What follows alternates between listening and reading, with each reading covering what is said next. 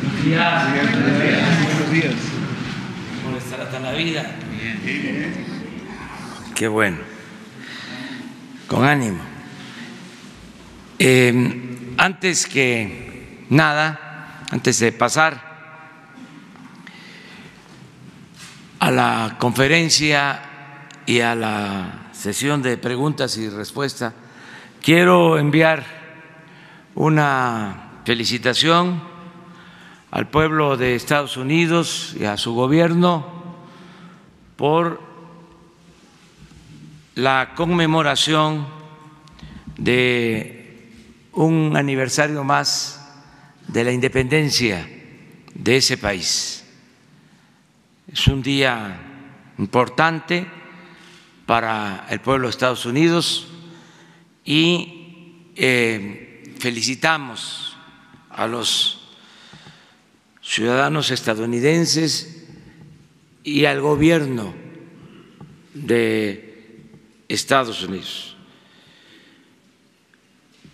Ellos lograron su independencia en 1776 y a partir de ahí se empezó a construir esa gran nación con la que deseamos tener siempre relaciones de amistad y de cooperación.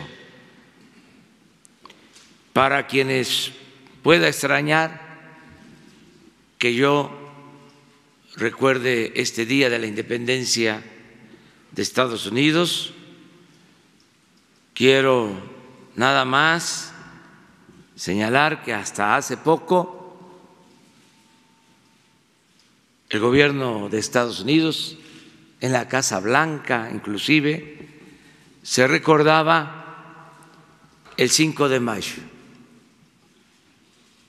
el triunfo de las fuerzas nacionales de nuestro país sobre el ejército francés en la batalla de Puebla. Era una fecha que se recordaba en Estados Unidos, sobre todo en los estados de Texas, en los estados limítrofes con nuestro territorio. Entonces, felicidades al pueblo de Estados Unidos y al gobierno de Estados Unidos por este día histórico 4 de julio. Y ahora sí, vamos a preguntas y respuestas. Eh, gracias, señor presidente.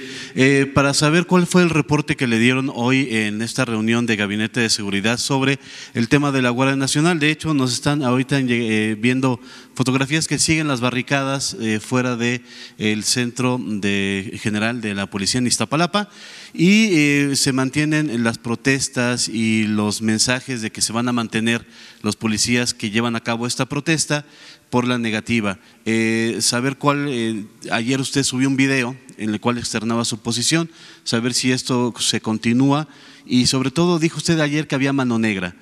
Eh, ¿Puede personificarlo? ¿Puede ponerle nombre y apellido a la mano negra que usted comenta que está detrás de estas protestas? Sí, este, reafirmo mi postura de ayer, creo que en el video está claro, es un movimiento que no tiene razón de ser, no tiene fundamento, no es una causa justa, porque no hay despidos, porque no se están quitando salarios, prestaciones, continúa la misma situación que prevalecía, el ingreso a la Guardia Nacional es voluntario,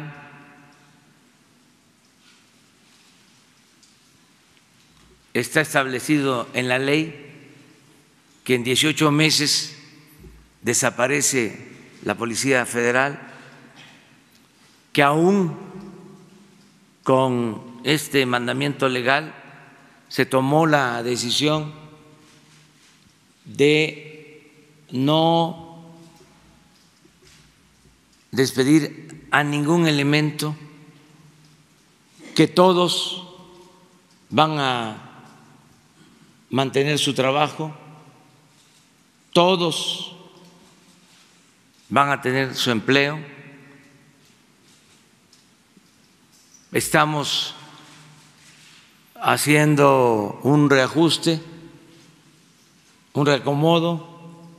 Les decía yo ayer, creo, que el gobierno contrata a cerca de 50 mil elementos, policías privados, porque crearon estas corporaciones, o mejor dicho, fomentaron la creación de estas corporaciones y se llegó al extremo de que el gobierno contrataba más policías privados que los policías del gobierno federal para garantizar la seguridad del pueblo, de los ciudadanos.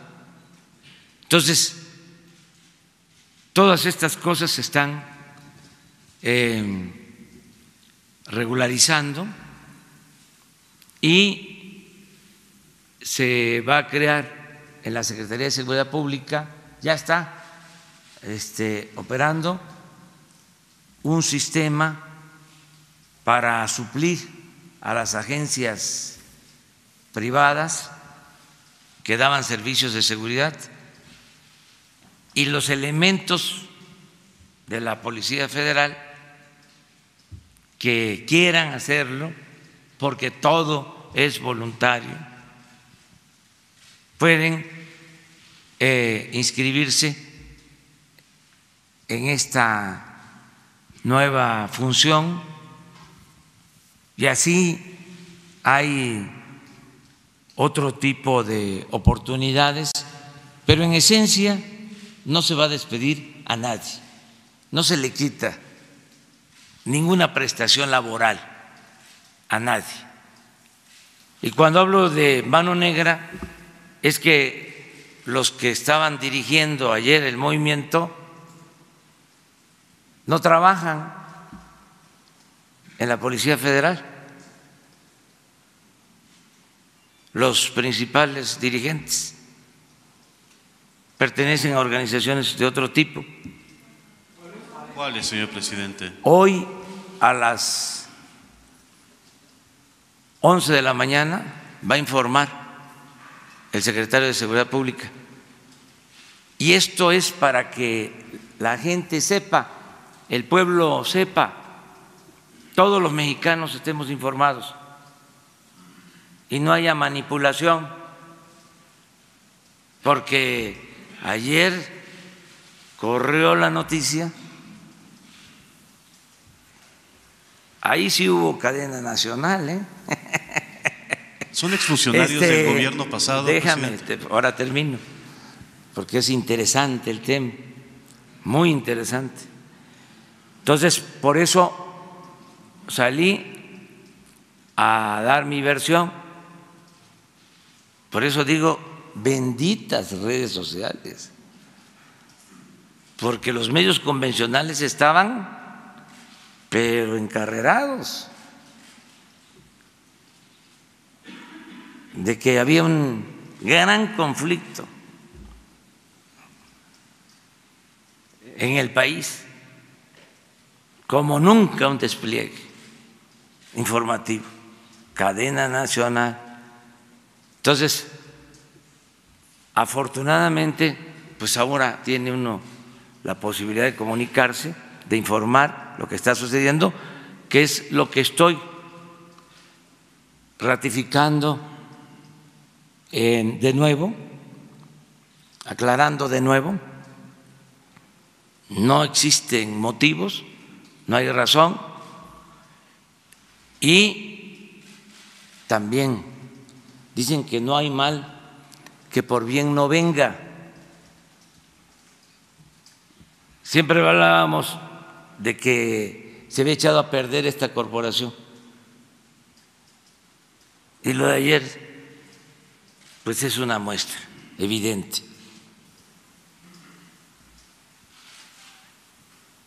Y también estamos creando algo nuevo, la Guardia Nacional. Entonces tenemos que ser muy cuidadosos. Ayer decían que no querían que le hicieran exámenes, que les este, hicieran exámenes. ¿Sí? Entonces, ¿cómo va a ser la cosa? ¿Va a entrar cualquiera a la Guardia Nacional? O sea, vamos a simular. ¿Se acuerdan ustedes que en un, una primera aprobación resultó de que no querían, bajo el supuesto de la militarización, que participara el ejército, la marina, las Fuerzas Armadas, y estaban creando nuestros legisladores, digo nuestros porque son de todos los mexicanos, representantes del pueblo, como una segunda versión de la Policía Federal. Y dije, no, aquí, así no, porque va a ser lo mismo. Entonces la Guardia Nacional tiene que cuidar mucho quienes ingresan. Y si hay normas, además legales, son leyes aprobadas sobre las características o requisitos que deben de cumplir quienes ingresen a la Guardia Nacional. Puede ser también para no ser tan estrictos, de que haya faltado información a los elementos de la Policía Federal y que llegan gentes de fuera con otros intereses y les dicen, ya te van a correr te van a quitar tu sueldo, te van a quitar tus prestaciones, te vas a ir a vivir a un cuartel así, este, de manipulación, de ese nivel de manipulación, y si no se tenía la información suficiente, pues algunos se creyeron, pero otros están actuando mal, porque tiene que haber disciplina. No olvidemos, entre otras definiciones de lo que es la democracia, es orden. La democracia es orden.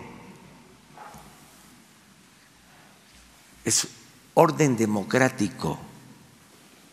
Y la política, entre otras cosas, también se creó para poner orden en el caos.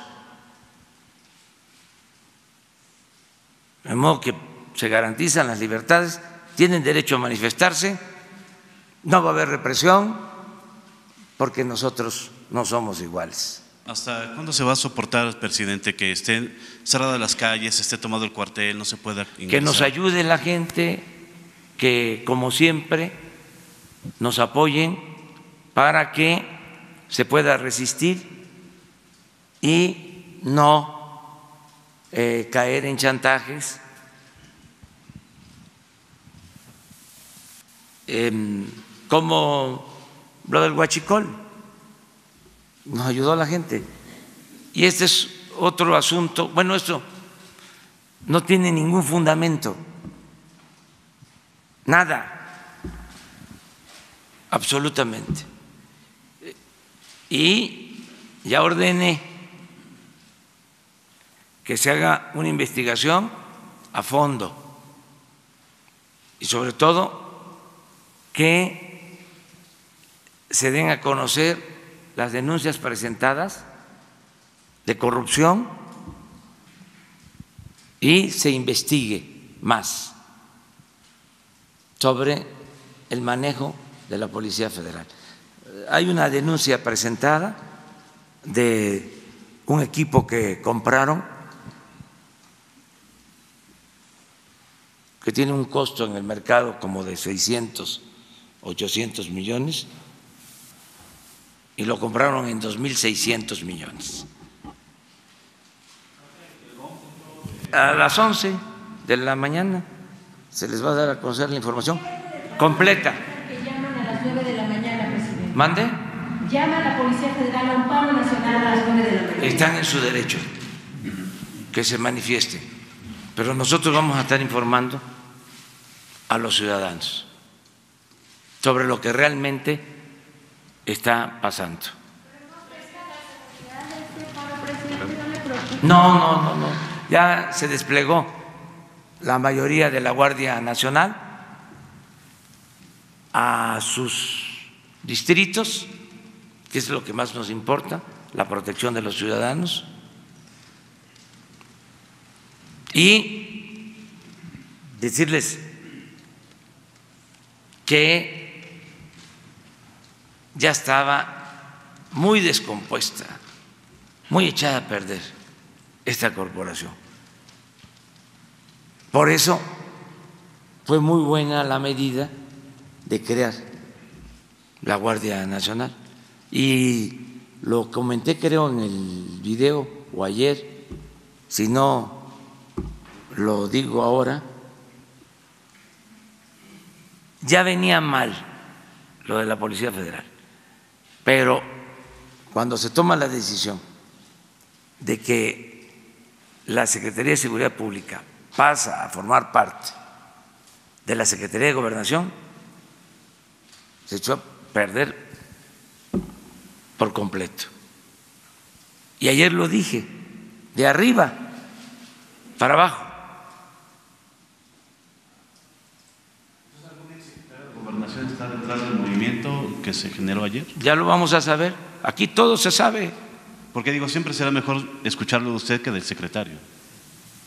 No, el secretario es el que tiene más elementos. Yo nada más informes generales. Pura brocha gorda.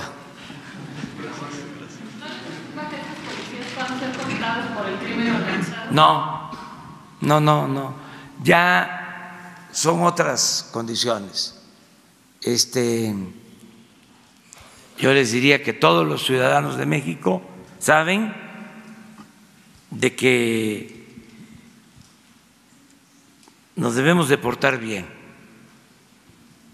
Ya no hay condiciones para que el ciudadano se porte mal, porque es otro gobierno. ¿Qué es lo que pasaba? El mal ejemplo lo daba el gobierno. Si los de arriba eran ladrones, pues cómo no iban a hacer lo mismo o iban a estar tentados a hacer lo mismo otros ciudadanos. Esa era la lógica, por ejemplo, del huachicol. ¿Por qué no voy yo a ordeñar un ducto o obtener gasolinas de una toma clandestina para poder vender 20, 40 litros de gasolina, si arriba están haciendo negocios, se están robando mil, dos mil millones de pesos en una operación. Eso ya no existe. Además, si se tratara de despedir como lo hacían, a ver, quedan sin trabajo 40 mil trabajadores de luz y fuerza del centro. Y los conservadores y la prensa este,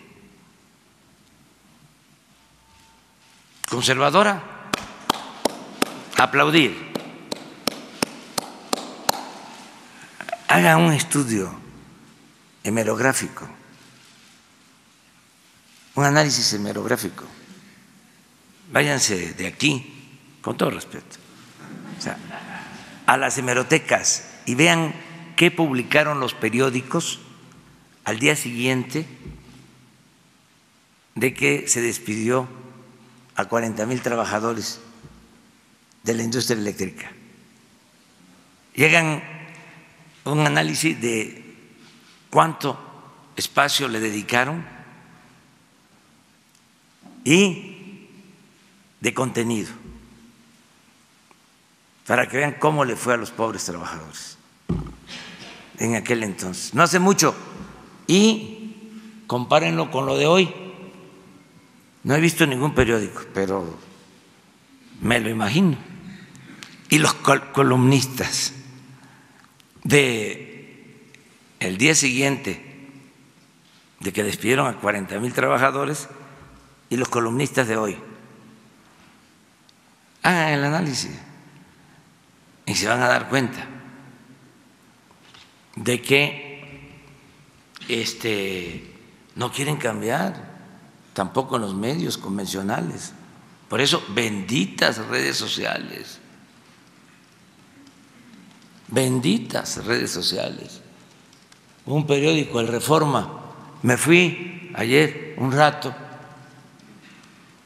no a quitarme estrés, porque estoy bastante bien, sino a tirar la polilla, que es distinto, a jugar béisbol en la tarde. ¿Cuánto tiempo lleva la práctica de béisbol? Les invito a ver quién aguanta más de una hora practicando béisbol. Pues ese tiempo. Entonces, subí que estaba yo jugando béisbol y el reforma. Mientras están tomadas las calles por la Policía Federal, el presidente jugando béisbol, quitado de la pena. No se miden. Entonces, vamos a informar sobre este tema. Adelante. Gracias, presidente. Alfonso Basilio de Político.mx. Eh, tenemos información de que la semana pasada eh, el Tribunal Contencioso Administrativo de la Ciudad de México ordenó a la CEDUBI cambiar el uso de suelo de un predio del bosque de Chapultepec. Usted ya se había manifestado respecto a este tema. Y lo que le está diciendo la CEDUBI es que puede cambiar el uso de suelo para que una inmobiliaria construya en el bosque de Chapultepec. Eh, ¿Cuál es la postura que tiene respecto a esto? ¿Y qué le diría a los vecinos que son los que están reclamando que no haya el, uso de suelo y que no se privatice el bosque? No se va a privatizar el bosque, al contrario, informo, ya lo dije hace tres días en el Zócalo, hay tres secciones en el bosque de Chapultepec y se incorpora otra, el terreno donde estaban las fábricas de armas de la Secretaría de la Defensa. Son como 120 hectáreas. Ya estaban a punto de venderlo. Estaba hasta el avalúo, 20 mil millones de pesos. Nosotros teníamos la intención de destinar una parte a un parque y otra parte utilizarlo para construir y que se este, fuese autofinanciable. Hicimos el análisis, salía, pero impactábamos la zona. Al final decidimos que estas 120 hectáreas formaran parte de lo que va a ser la cuarta sección del bosque de Chapultepec y se va a integrar todo el bosque en un proyecto de 800 hectáreas para el arte, la ecología, porque precisamente ahí, en el terreno de la defensa, por Santa Fe, ahí hay un manantial histórico que le daba agua hasta Chapultepec y se va a conservar y a rescatar. Va a ser un parque em, con un eje temático em, a partir del uso del agua y de la conservación del agua. En artístico, bueno, em, Gabriel Orozco es el encargado del proyecto en su conjunto y va a ser un espacio cultural eh, extraordinario. Entonces, no se privatiza nada. Eh, puede ser que sea un procedimiento legal que se esté siguiendo, pero tanto el gobierno federal como la jefa de gobierno, Claudia Sheinbaum, eh, estamos buscando el rescate completo del bosque. Eso es lo que se le puede decir a los vecinos. Desde luego hay que ver eh, cuál es el asunto, qué terreno es, este, si ya se otorgaron los permisos, mm, pero ver qué permisos faltan y, eh, de acuerdo a la ley, presentar eh, recursos de inconformidad. Siempre hay posibilidades de hacerlo.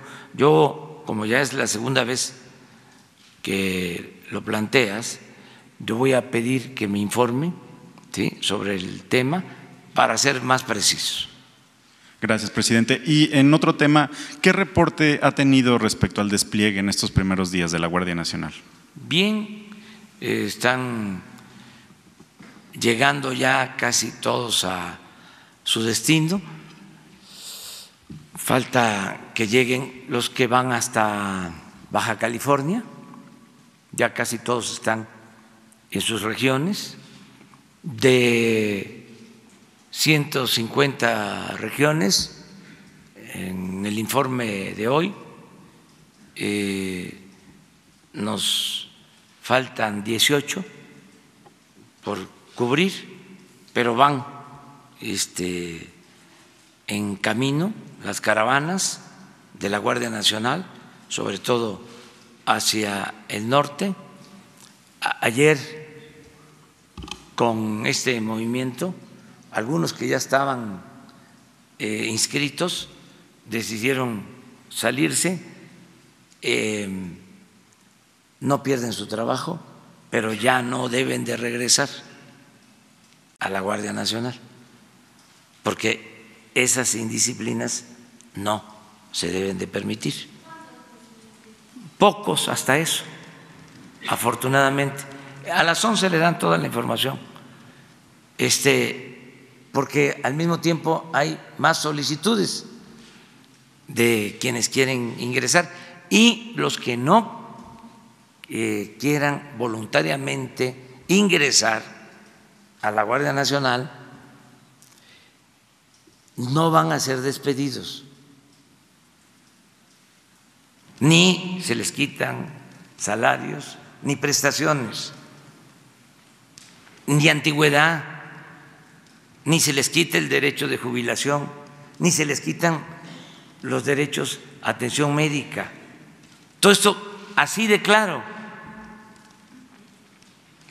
para que este, no se mienta, para que no se digan cosas que no son ciertas.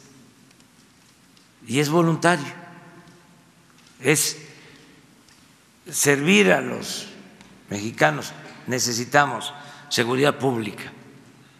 Les hablé a los de la Guardia Nacional hace unos días, cuando inició la operación, el despliegue de esta nueva institución, y les dije que necesitábamos de su apoyo, porque tenemos el problema de la inseguridad y de la violencia.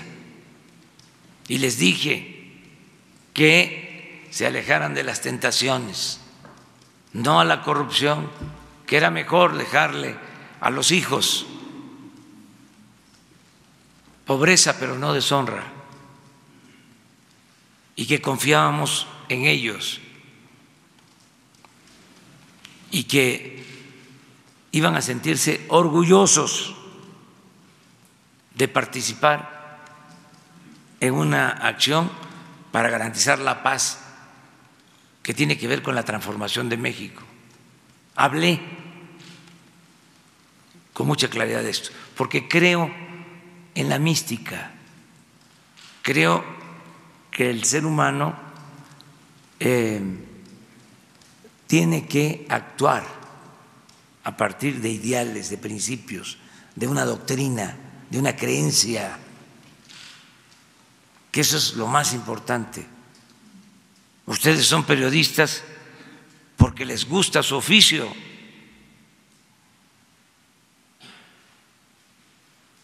Si quisieran ganar dinero, pues no fueran periodistas. O sea, ¿no es así?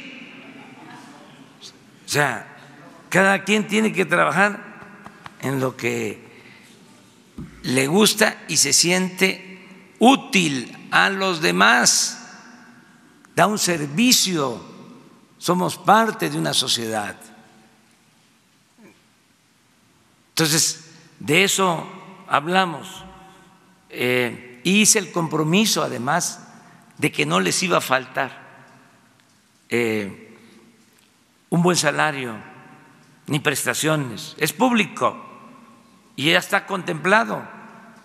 Hoy a las 11 le voy a pedir a este, el secretario de Seguridad Pública, Alfonso Durazo, que ha estado actuando muy bien, que tiene todo nuestro apoyo, todo nuestro respaldo, que les muestre todo el trabajo que se ha hecho para homologar sueldos y prestaciones. Porque aquí se los comenté, por eso sostengo que hay mala fe en este movimiento. Aquí les comenté de que estábamos homologando sueldos y prestaciones, porque en el ejército eh, ganan menos los soldados que lo que gana la Policía Federal, pero en el ejército tienen mejores prestaciones que las que tiene la Policía Federal. Entonces, se hizo un trabajo para homologar en sueldos, en prestaciones, De modo que no hay motivo eh, de fondo, pero también somos libres este, y podemos manifestarnos y podemos protestar.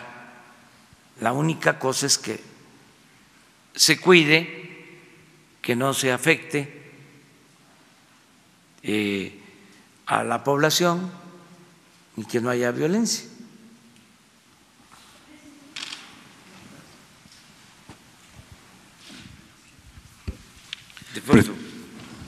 Presidente Constitucional de México, servidor Carlos Pozos, reportero de Petróleo y Energía.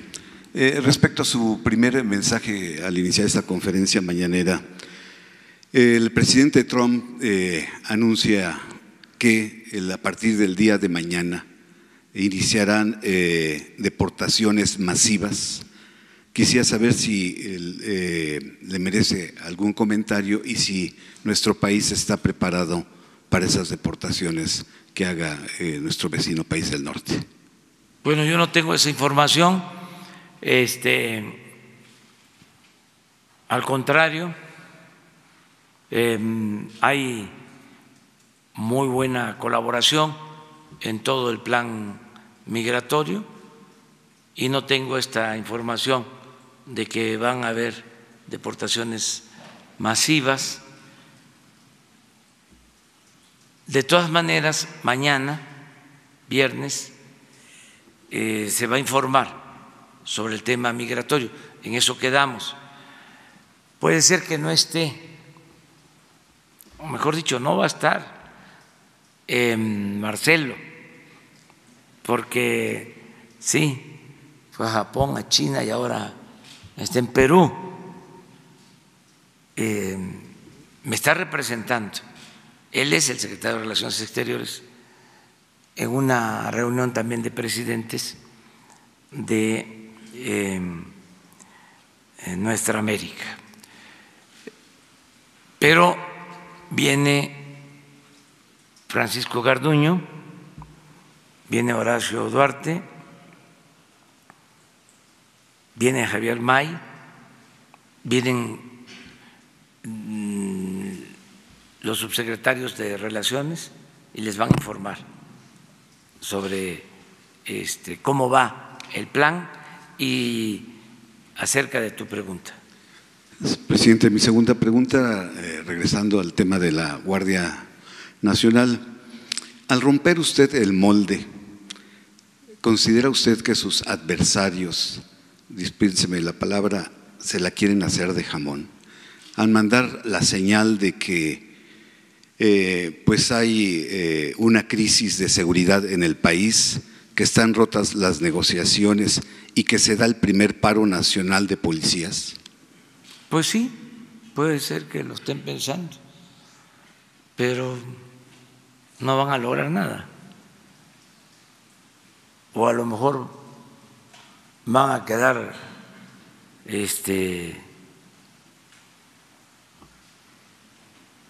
mal vistos por hacer esas cosas. Porque yo no me voy a quedar callado. Yo siempre digo lo que pienso. Entonces, cuando se tratan de estas cosas, eh, y tengo información,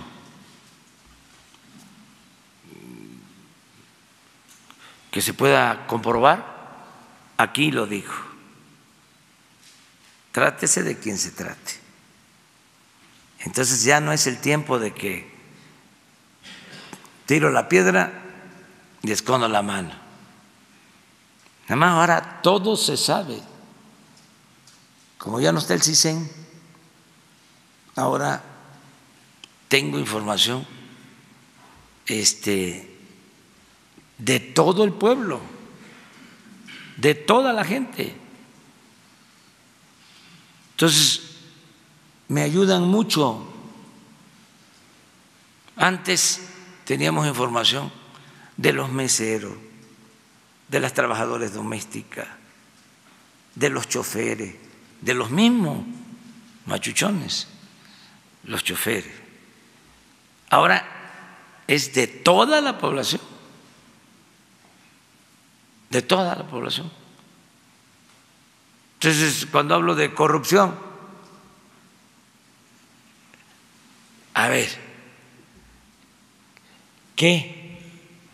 Este, no hay vecinos que se dieron cuenta que de repente los funcionarios este que vivían en sus colonias se fueron a vivir a otras y a residencias.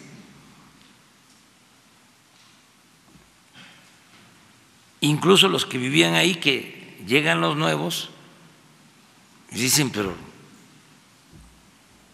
¿y cómo le hizo? Ahora eh, hay mucho más transparencia en todo y tenemos más información. Entonces, quieren este, em, hacer politiquería, pues no les va a funcionar. No va a funcionarles. Pues es un poco lo que hicieron los tecnócratas, ¿no? Con la cuestión de estar dale y dale y dale, de que se bajan los pronósticos de crecimiento, un día sí y el otro también. O los escritores columnistas ¿no? más afamados que aparte de que les pagaban muchísimo en sus periódicos, en sus medios, también este, recibían servicios o se les daban servicios este, del gobierno. Entonces ya eso se terminó. Yo le diría a los dueños de los periódicos, dueños de estaciones de radio, de televisión, con todo respeto, de que le bajen los sueldos a los de arriba y le suban los sueldos a los de abajo. ¿Cómo le van a estar pagando a un columnista 500 mil pesos mensuales? Un millón de pesos. Y un reportero 20. ¿Qué es eso? ¿No, no llega a 20? ¿Cómo cuánto? Ocho. ¿Ocho? ¿Diez? ¿Doce? Y un experto, ¿no? Analista, gran escritor. 500 periodista famoso, hasta un millón, así como lo están escuchando. Hagan la cuenta y se los dejo de tarea. ¿Para cuántos periodistas alcanza un millón? ¿Eh? ¿Cien? Pues toda la plantilla toda la plantilla. Uno. Pero además ya están tan desprestigiados que ya no este, tienen ningún efecto.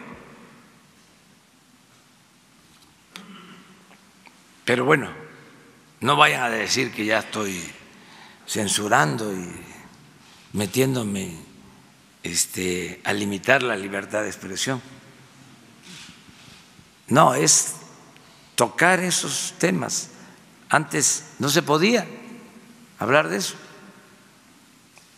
Además, ni siquiera es equitativo, porque yo tengo aquí un tiempo y uso para este tema, para la réplica, unas 500 palabras, mil. ¿Cuántas usan mis adversarios en contra mía? No hay proporción. Ese es otro ejercicio también interesante. Entonces, voy a procurar pues que haya también equilibrios, ¿no? Cada vez este, que haya más equilibrio. Tú. Buenos días, presidente. Eh, Gabriela Jiménez del Sol de México. Ahorita que comentaba sobre los 50 mil elementos que habían sido eh, contratados de parte de seguridad privada, ¿qué va a pasar con estos elementos? O sea, ya ellos ya, ya fueron eh, eliminadas estas, estas corporaciones privadas, ¿a dónde se fueron?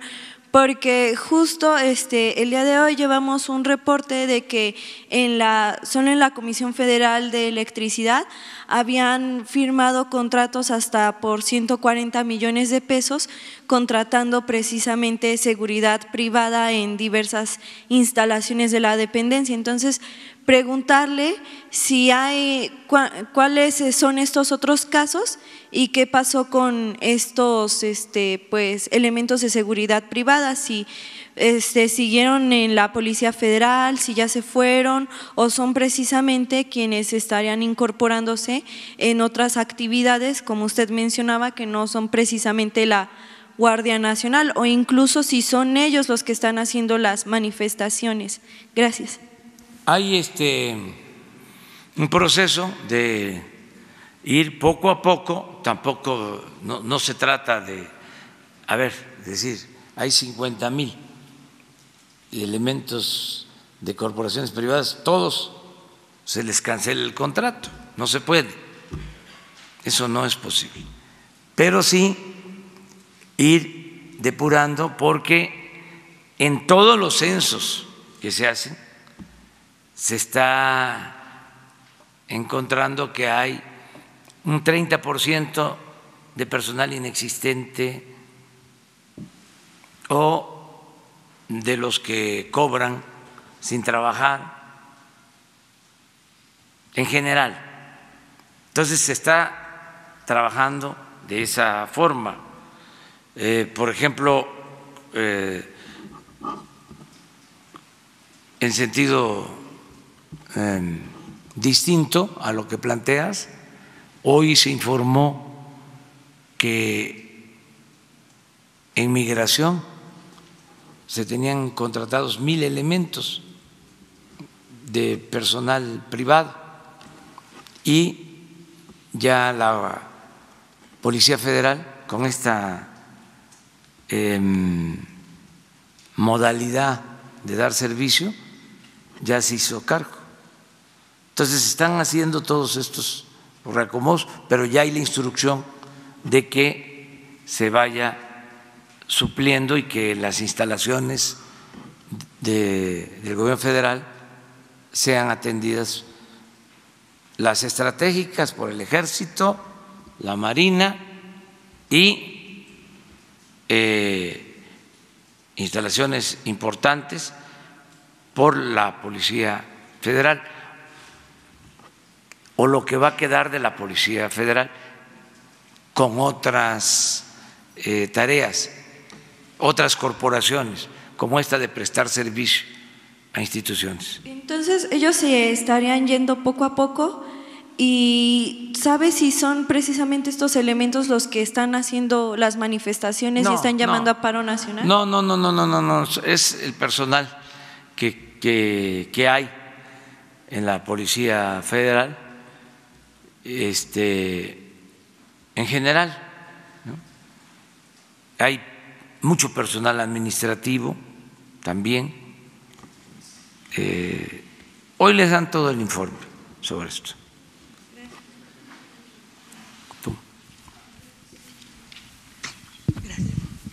Gracias, señor presidente. Sandra Aguilera, de Grupo Larsa Comunicaciones.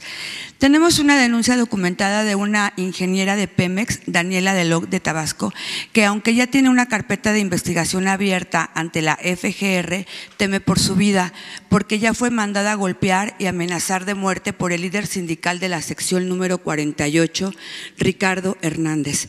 Todo esto por haber denunciado la corrupción de plazas clonadas que Pemex tiene supuestamente con el sindicato las cuales sirven para el robo del huachicol y vandalismo con empleados en áreas operativas de Tabasco, en donde Petróleos Mexicanos mantiene contratos con el mismo líder sindical en el activo Samaria. Tiene miedo porque una ingeniera del mismo activo fue asesinada por haber denunciado esto. Quiere su apoyo. Sí, este, vamos a apoyar. Em, ¿Nos das la información? Sí. Sí, claro. Eh, no, cuando. Sí, pero tengo, tengo otra pregunta. A ver, espérame. Nada más es que sí nos importa mucho ¿sí? y hablarle de manera directa a Octavio Romero de Pemex para que se atienda y a Alejandro Encinas, a los dos. Muchas gracias. Y por otro lado, hay un grupo de adultos mayores que laboraron toda su vida en las minas de Cananea por Grupo México. Hoy luchan por una pensión, ya que Grupo México, según señalan, no pagó las cuotas de más de 1.500 trabajadores retirados y por eso no tienen pensión digna. Hay gente que ya falleció sin poder gozarla. ¿Qué opinión le merece esto? Que se debe de hacer justicia, hay que ver eh, cómo está la denuncia eh, que seguramente ya presentaron y, le voy a pedir a la secretaria del Trabajo que lo atienda. Muchas gracias. A Luisa María, alcalde. Perfecto. ¿Sí? Gracias, señor presidente. Sobre esto. Vamos allá. Soy Cayetano Lucero de vigiliasonora.com y hablando de, de Grupo México, señor, este, haciendo un poco de historia, este, el, Grupo México en 1990 se hizo de la mina de Cananea, eh, pues en un precio de 475 millones de dólares cuando la mina valía más de 3.200 millones de dólares. Al hacer esto se desplazaron cientos de mineros, señor, que aún continúan en una huelga y van a cumplir 12 años este 30 de julio y siguen exigiendo que se les haga válido sus peticiones. Este, y aparte de eso, pues Grupo México, el próximo 6 de agosto se van a cumplir cinco años de impunidad de que la mina Buenavista del Cobre provocó una desgracia ecológica, la más grande producida por la, por la minería a cielo abierto en este país este desastre ecológico ocurrió en el río Sonora y se derramaron más de 40 mil metros cúbicos de acidulados de cobre que contenían aparte de cerca de 800 toneladas de, metales tóxicos. Se contaminaron más de 300 pozos en los municipios de Arispe, Banami, Chihuepa, Quenaconchi, en Babiácora, en San Felipe de Jesús, en Ures y en la capital de Hermosillo. De acuerdo con el nuevo proyecto de nación que usted representa, señor presidente, ¿de qué forma la Administración Federal puede revertir esta problemática en el caso de Cananea y en el río Sonora para avanzar en el logro de la sustentabilidad en la explotación de los recursos en una zona de alto conflicto laboral, económico, ecológico y social? Que se ha provocado por la impunidad y la, corrupción que existe entre la empresa y el Grupo México y el gobierno neoliberal, pues ya que, que usted dice ya va a quedar detrás. Entonces, como mandatario de la nación, ¿qué gestiones está haciendo con este Grupo México que mucha gente no se explica por qué se llama Grupo México? que ha ocasionado este daño incumpliendo con sus compromisos de remediación del río Sonora y en inatención a la salud de los cientos de afectados a corto, a mediano y largo plazo que se van a ver porque la gente sigue tomando agua contaminada de los pozos o con alto sospechosismo de que el agua está contaminada y es necesario y urgente, así urgente que se instalen esas 36 plantas potabilizadoras de agua en los pozos contaminados porque la gente se está enfermando, señor. Este, también urge que se construya el hospital de especialidades que que, el Grupo México prometió y que pues nomás quedó en obra negra ahí en Ures. Entonces hay cientos de personas contaminadas y pues la gente se pregunta qué regulaciones, qué regulaciones implementarán en su gobierno para evitar la explotación desmedida que hacen las mineras, sobre todo en Sonora, señor, este, y que ha causado estas desgracias ambientales y qué se hará para que también esos beneficios que, económicos que, recibe la minería también se vean reflejados en la, en, la, en la calidad de vida de los mexicanos, porque las mineras, señor, solo están dejando muerte, destrucción y pobreza, en tanto se están llevando el oro de nuestro país. Bueno, miren, em, en tu planteamiento es lo que se ha dicho en varias ocasiones. Nosotros em, luchamos en contra de el llamado modelo económico neoliberal porque consideramos que fue un fracaso que benefició solo a una minoría, que neoliberalismo fue neoporfirismo, que se dedicaron a saquear al país y empobrecer al pueblo. Y que este periodo duró 36 años y se terminó a partir del día primero. Estamos en el periodo post-neoliberal, para decirlo de alguna manera. ¿Qué hacer con toda la destrucción del neoliberalismo? ¿Qué hacer con el saqueo? ¿Qué hacer con todas las injusticias? Nada más teníamos dos opciones. Meternos a juzgar a los responsables o decir punto final y vamos a inaugurar una etapa nueva. Decidimos por lo segundo.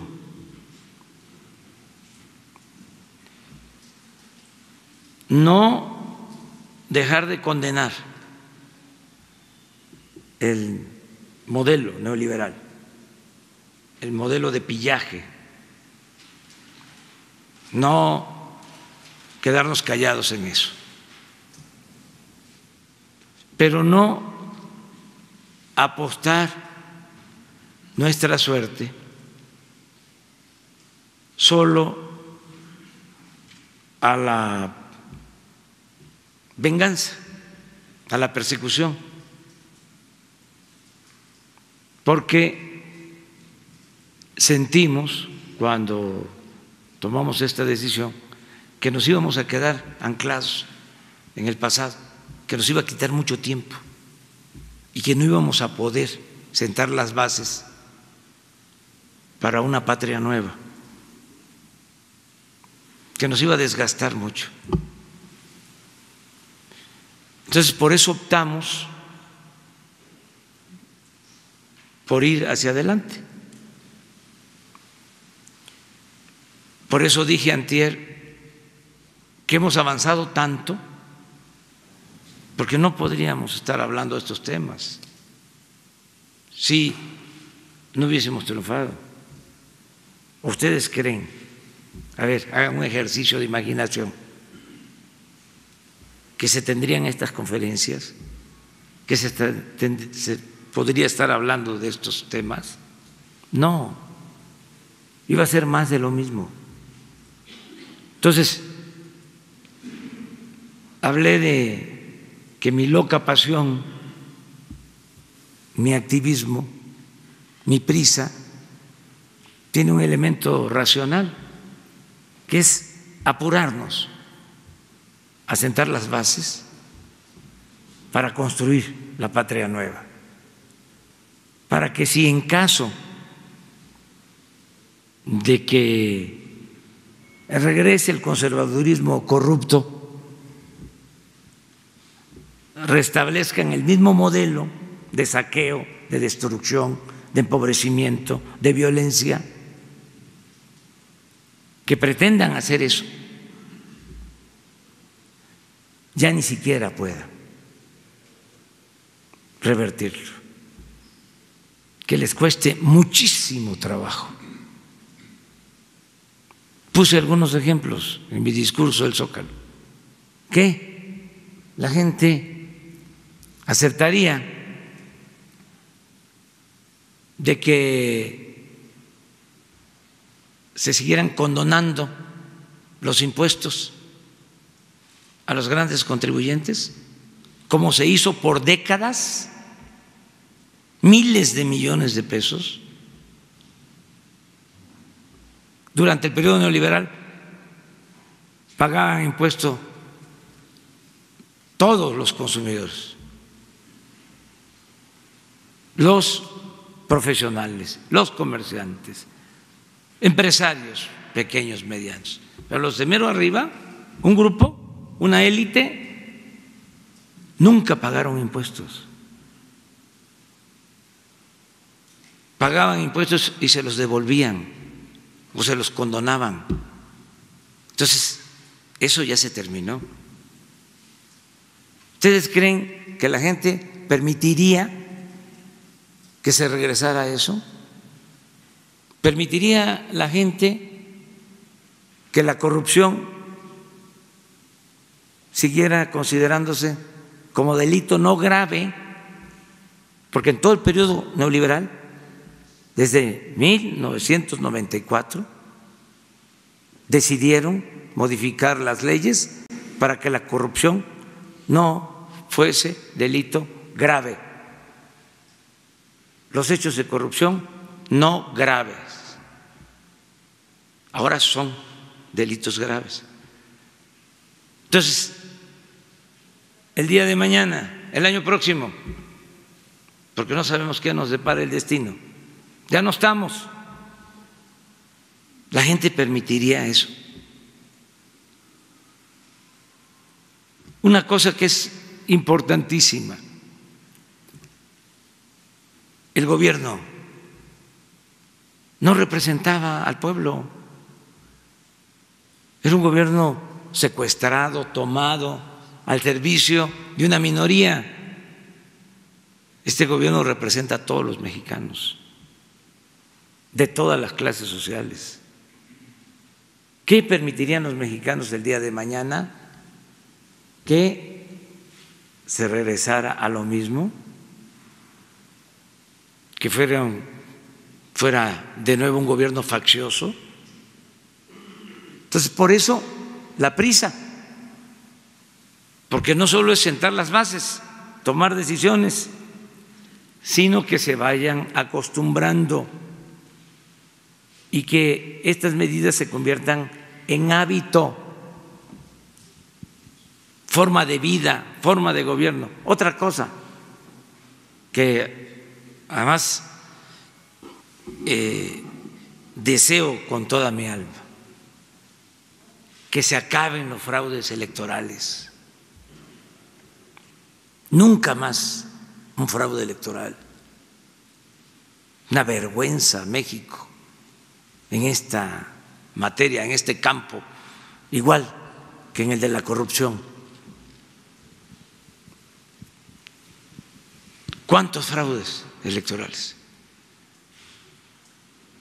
¿Cuántas imposiciones? ¿Cuánta burla al pueblo? Entonces, por eso decidimos, vamos hacia adelante, porque si no,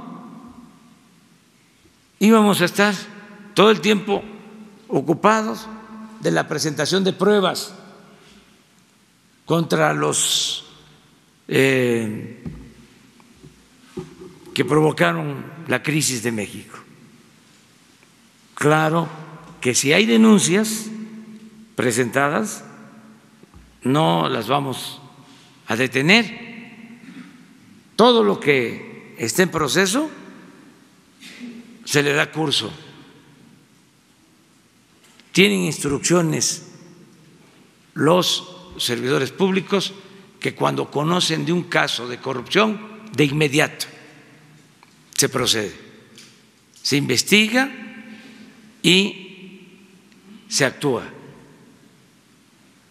El director de la Oficina de Inteligencia Financiera, Santiago Nieto, ya ni siquiera este, me informa porque lo hizo al principio, que me llevaba los informes y unas sábanas que hacen ahí sobre toda la red de lavado de dinero, de la delincuencia.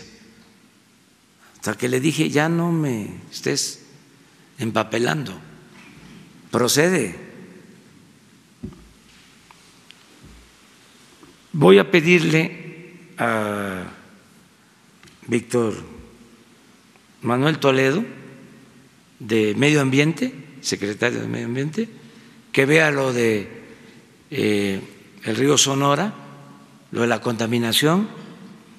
Se hizo un fideicomiso, se alega de que la empresa aportó a ese fideicomiso, pero no hay claridad.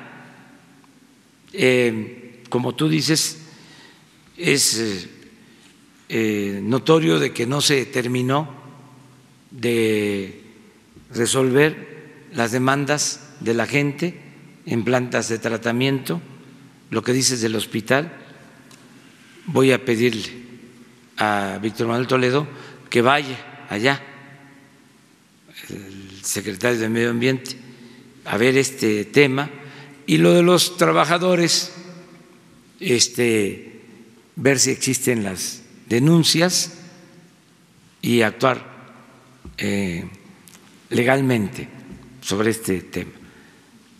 Pero sí quería yo darles una explicación más a fondo sobre cómo estamos procediendo. Dos más, porque la agenda de hoy está, ya se las vamos a dar a conocer. Muchísima. Señor presidente. Puede ser que vaya otra vez al béisbol. Buenos días, señor presidente. Urbano Barrera, del diario Ovaciones.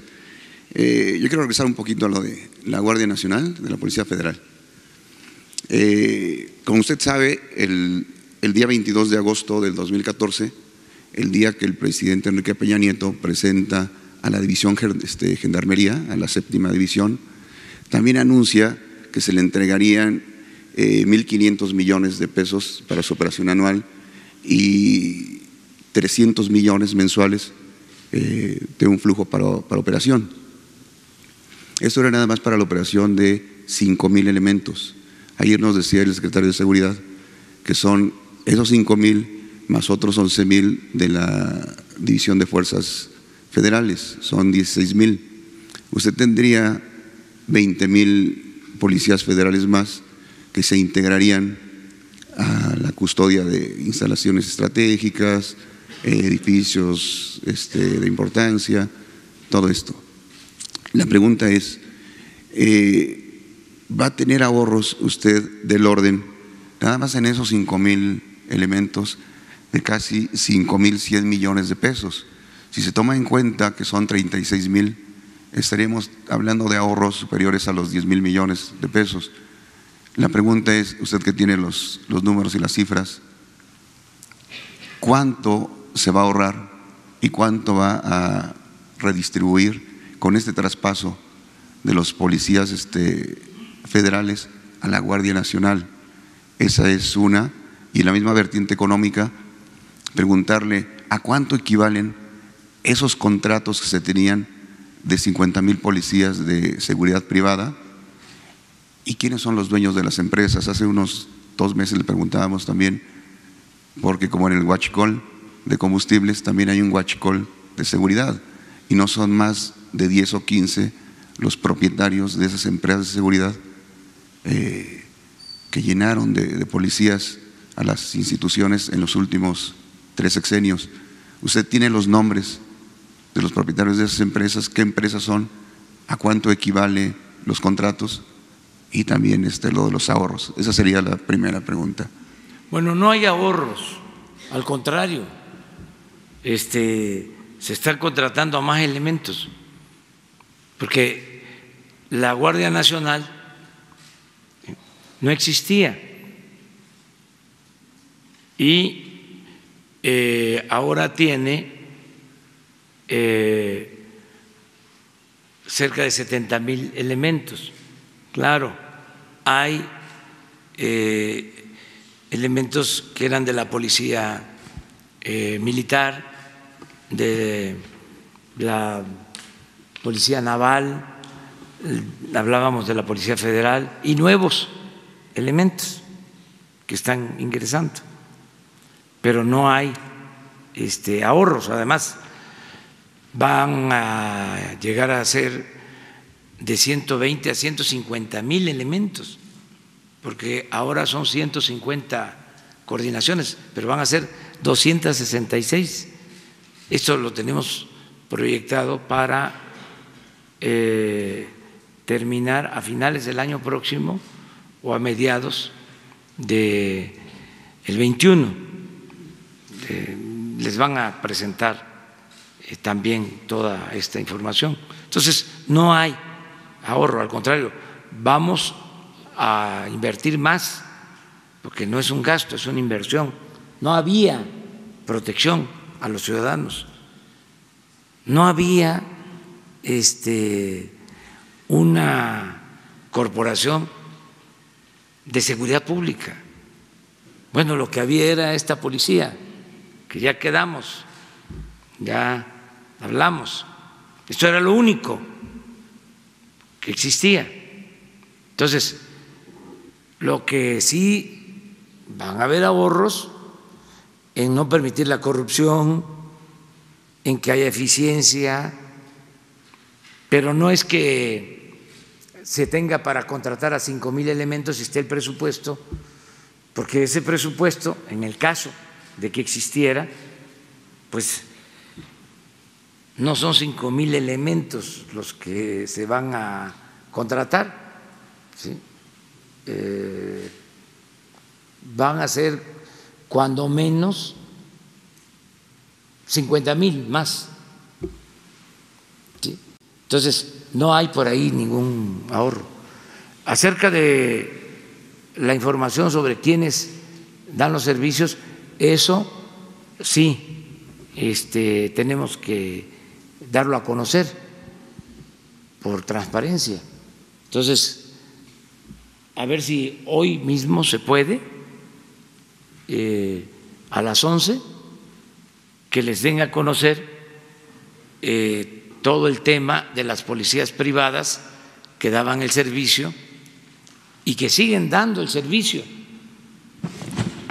porque no se puede así de la noche a la mañana eh, cancelar los contratos, sino que les digan cuál es el proceso, cuántos hay y cuáles son las empresas principales. Debe de haber, esos estaban metidos, pero políticos no en el buen sentido de la palabra, ¿eh? traficantes de influencia mejor. Vamos este, respetando al político. Don Jesús Reyes Heroles decía que la política era tan limpia que ni los más sucios políticos habían podido mancharla. Porque también es lo del reforma de ayer, ¿no? de eh, compararme con Salinas, que me iba a clavar la partida secreta. Pues es exigir respeto, ¿no? O sea, lo mismo en el caso de el político, los políticos. No, hay políticos que cumplen con su responsabilidad y es un noble oficio la política, gente que le sirve al pueblo, gente íntegra,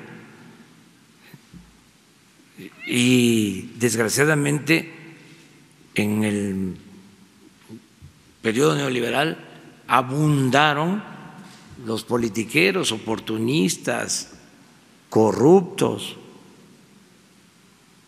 ¿Cómo es que dicen los pregoneros? Este, tienen de fierro viejo que venda, ¿sí? ¿Eh? ¿A poco no es? Es así es el pregón. políticos prepotentes, fantoches, corruptos, cretinos, etcétera, etcétera, etcétera. Pero ese es otro asunto. O sea, no generalizar. Y lo mismo en el caso de los medios. No son todos. Y hay excepciones honrosas. Y aún los que están acostumbrados a hacer eh, el periodismo de antes merecen respeto. Nada más que no sean hipócritas, pues, que no se den baños de pureza. De repente se vuelven los analistas más profundos, críticos, pero no es una convicción sincera. Sin embargo, tienen el derecho de expresarse, de manifestarse. Una más. Señor, la segunda pregunta, señor. A ver, aquí. Señor.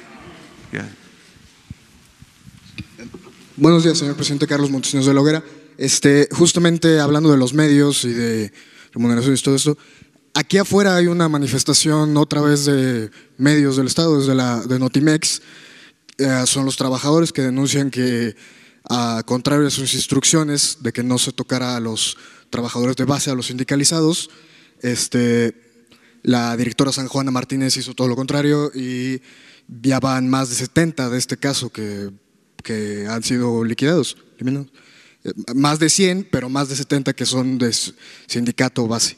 Este, entonces, ¿qué va a pasar? ¿Los, ¿Va a analizar este caso como sucedió con Canal 11? ¿O qué, qué, está sucediendo con estos recortes en los medios públicos? Lo va a recibir este, Jesús y eh, San Juana es una extraordinaria eh, persona, una muy buena periodista, honesta, le tengo toda la confianza, toda, toda, toda, toda la confianza, por su trayectoria como buena periodista.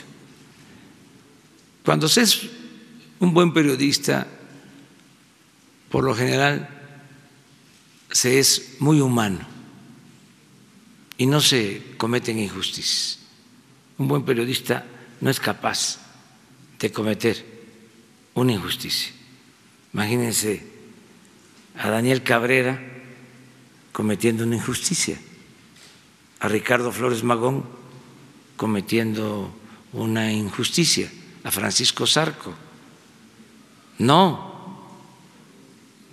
Entonces, ella va a atender este asunto, nos va a informar y Jesús se va a hacer cargo de atenderlos a todos, explicarles, que sepamos de qué se trata. Es que em, es una transformación. No es como la independencia, como la reforma como la revolución, que se hicieron por las circunstancias, por la vía armada. Esta es una transformación pacífica, pero igual de profunda que la independencia, que la reforma, que la revolución. Entonces, tenemos que celebrar que sin violencia se está llevando a cabo la cuarta transformación. Claro que hay eh, reacciones, porque es una transformación al fin de cuentas, y hay protestas y eh, son legítimas, y hay quienes no están de acuerdo, y hay quienes se sienten afectados pero consideramos que esto es por el bien de todos, no es una transformación para favorecer a una minoría o para que se siga profundizando la desigualdad en México o para que sigue imperando la corrupción o las injusticias. No, es una transformación en bien del pueblo. Hay una frase en la Declaración de Independencia de los Estados Unidos que tiene mucho que ver con el fin último de los gobiernos. Siempre lo he creído así. Esto lo contempló también la Constitución de Apatzingán. El fin último de los gobiernos es conseguir la felicidad del pueblo. Miren lo que este, se estableció, que los hombres son creados iguales. ¿Se acuerdan lo que decía Morelos en los sentimientos de la nación? Sobre la igualdad. Es el mismo pensamiento. Que los hombres son creados iguales, que son dotados por su creador. Acuérdense que Morelos también hablaba de esto. Aquí hay diferencia en cuanto al pensamiento laico, pero que son dotados por su creador de ciertos derechos inalienables, que entre estos están la vida, la libertad y la búsqueda de la felicidad. Es bellísimo esto.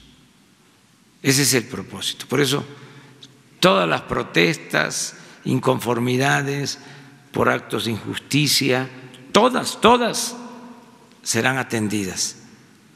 Es cosa de tiempo porque eh, hay muchas demandas eh, personales, individuales, que son muy legítimas, pero son muchas. Parte del rezago que nos dejó el modelo neoliberal fue eso. Muchísimas quejas, demandas, problemas, conflictos heredados. Estamos como cuando Madero haciendo uso de una frase bíblica, dijo, el pueblo de México tiene hambre y sed de justicia. Así estamos. Pero ¿qué ofrecemos? Saciar esa hambre, esa sed de justicia, poco a poco, en la medida de lo posible. Cuando se justifique, sí. Cuando se tenga que reparar una injusticia, un daño, Claro que sí. Tenemos que rectificar, no caer en la autocomplacencia, saber escuchar a todos y darle la razón a quien la tiene. ¿Por qué no? En el caso, eh, yo entiendo todo este argumento que dice usted de la austeridad. El problema es que denuncian malos tratos, por ejemplo, que los despiden con un policía a través de un oficio y que el policía va con ellos para sacarlos de sus trabajos. Eso no es cierto. Son compañeros nuestros. Por eso, no es cierto. Ah, tú dices, yo pensaba que hablabas de la guardia. No, no, no. No, creo tampoco, ¿eh? Luego dicen no lo también creo, tampoco, menos. Que les están ofreciendo liquidaciones que van del 40 al 60%, que no son liquidaciones. No, no, no, no, no, no, no, no, ya parece parece que este, quienes vienen del periodismo este que les estoy explicando van a usar a un policía. ¿Cómo se llama nuestra compañera? La que está en Notimex. Sí, es San Juana, sí. Entonces, no, no, no, no, no, no, no, no, no, no, no, no, no, no, no. Estoy absolutamente seguro que es mentira. O sea, es incapaz. Hay.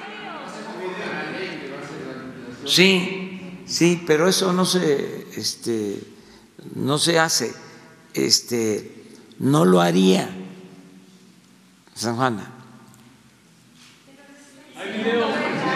Sí, eh, pues miren, hay videos de todo tipo, o sea, también las benditas redes sociales, pues tienen su este eh, pecadillo, pues a veces, pero eso no quiere decir que no sean un medio extraordinario. Entonces confía más, por ejemplo, en las cabezas que en el pueblo de México hablando en general, porque... No, confío mucho en eh, San Juana, muchísimo. Y en la clase trabajadora. También muchísimo, pero no confío ¿sí? en algunos líderes corruptos. Pero si los que están hablando, porque nosotros, por ejemplo, tenemos algunos eh, videos de testimonios de trabajadores que evidentemente están diciendo que los corrieron con un policía, que sufrieron acoso, que, no, ¿qué pasa en eso? Habría que no verlo. No, ¿No les cree? ¿Mande? No, no les cree, o sea, hablando de que son trabajadores. Es que no creo que eh, San Juana haga eso. Sí, la verdad hay ahí un asunto, eh, hay que indagar más, como en todo, habían pequeñas mafias, bueno, hasta los científicos, en los intelectuales, ya ni hablemos en medios. Y ya ni hablemos en toda la contratación de obras y de empresas. Estaba podrido el gobierno y malas prácticas. Entonces, también que se tome conciencia de que ya no se va a permitir lo mismo. No vamos a seguir con lo mismo, sino para qué estamos aquí. ¿Para qué tanta lucha? Para seguir manteniendo caciquismos, a líderes charros, corruptos, a traficantes de influencia, a gente deshonesta, mientras los niños no tienen para comer en las comunidades indígenas y no les llega el presupuesto porque todo se queda en el gobierno. Y como aquí sí se escuchan las protestas, aquí se atienden y quién vela por los desamparados, por los que no tienen voz, por los que nunca son entrevistados por los medios con honrosas excepciones. Entonces, ¿para qué es el gobierno? Lo acabo de dar a conocer, para conseguir la felicidad del pueblo, de todo el pueblo. Y lo que queremos es un cambio y una modernidad también, pero forjada desde abajo y para todos. Pero con todo lo que estoy diciendo y expresando, si hay casos de injusticias, se revisan. Y si es cierto de que se usa el policía y que se amenaza y de que eh, se está cometiendo una injusticia y se demuestra y yo me entero y tengo las pruebas, se rectifica y se ofrece disculpas y hay sanciones, porque no somos iguales, no somos iguales a los anteriores. ¿Para qué llegamos aquí entonces? Pues para que este, hiciéramos lo mismo que le hacían al pueblo antes y que nos los hacían a nosotros mismos. No, no, no, yo fui víctima de la represión A mí me inventaban delitos como opositor.